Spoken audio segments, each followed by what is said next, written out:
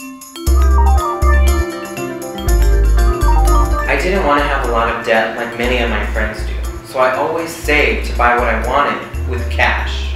Now when I started investigating buying a home, I knew I couldn't save over $100,000 in a short window of time and take advantage of the market that I had. Some people told me you won't be able to buy because you have bad credit, and others told me you won't be able to buy because you have no credit. But there's always a solution. Call or text this number for a free 30 minute consultation to determine what your best next step is moving forward without a credit score. Trying to get the loan through Wells Fargo and they wouldn't approve it because I didn't have didn't have credit.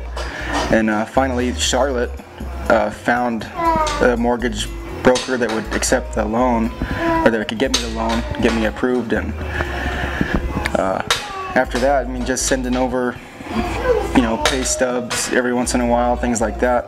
Other than that, she took care of everything and realizing that it was possible for me to do it at my age and as far as you know the payments and everything like that and I, I really didn't think I was going to be able to do it and Charlotte and my financial advisor helped me through it and made me realize that I could and I would be okay to do it.